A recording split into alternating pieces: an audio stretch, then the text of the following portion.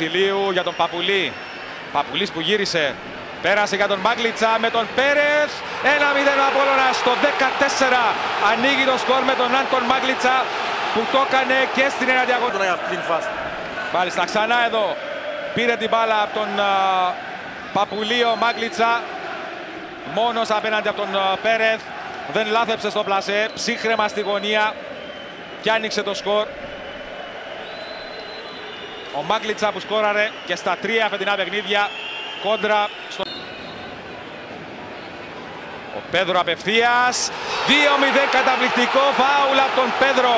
Στο παραθυράκι της αιστείας του Πέρεθ πέρασε η μπάλα.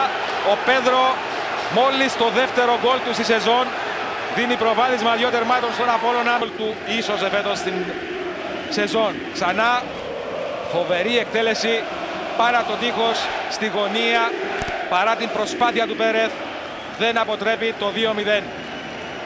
Μιλέκο. Uh, ό,τι καλύτερο για τον Απόλλωνα uh, και σημείο που έβαλε γκολ στα τρία. Πέρεθ. Παπουλής εκτελεί 3-1.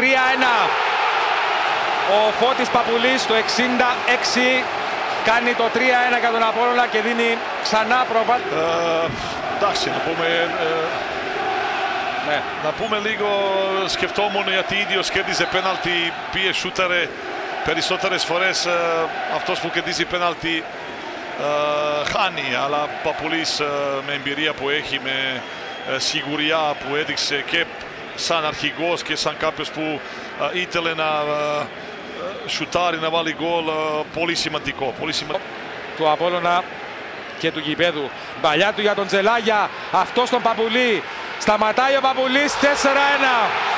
Ο Φώτης Παπουλής το 78 θα πετύχει και δεύτερο γκολ από την εξαιρετική αντεπίθεση του Απόλλωνα. Παπουλής σταμάτησε, έπεσε ο Πέρεθ στο 78 Παπουλής.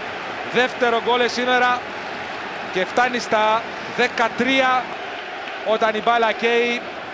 Πετυχαίνει εδώ, βλέπετε να είναι λίγο πιο μπροστά ο Ζελάγια εδώ δεν ξέρω αν είναι, φαίνεται να είναι στην ευθεία ο Παπουλής. Στο δεύτερο χρόνο νομίζω είναι στην ευθεία με την μπάλα. Σταμάτησε του Άλεφ και πάλι. Και εκεί να δούμε εδώ η προσποίηση του Παπουλή ήταν όλα τα λεφτά αφού έπεσε ο Πέρεθ και προκαινή ζεστία συνέχεια την έστειλε στα δίκτυα για το 4